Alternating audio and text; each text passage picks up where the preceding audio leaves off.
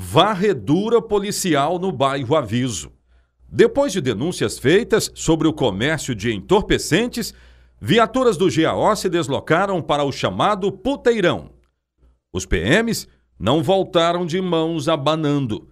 Foram 166 buchas de maconha apreendidas, além de 23 gramas de crack e 155 reais em espécie.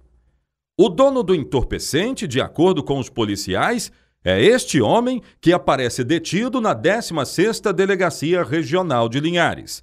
Rude Gomes Nascimento também atende pelo apelido de Jacaré, 33 anos. Estava promovendo, segundo a polícia, a venda de drogas na região. Foi a terceira passagem da polícia em dois dias no bairro Aviso. No chamado Beco da Junal, próximo da BR-101, Milena Alves estava com amigos em atitudes suspeitas na última terça-feira. Os amigos correram, mas ela não escapou da polícia. Foi descoberto um mandado de prisão contra a mulher e mais nove passagens pela polícia por furtos e roubos que aconteceram em Linhares. O recado é claro da força policial.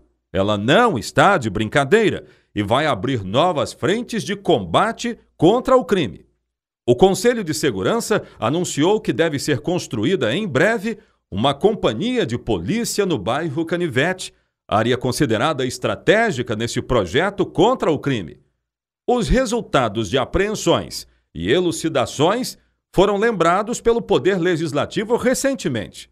Os vereadores da cidade fizeram questão de afirmar o trabalho das polícias civil, militar e rodoviária federal, além da Secretaria de Segurança pelas ruas do município.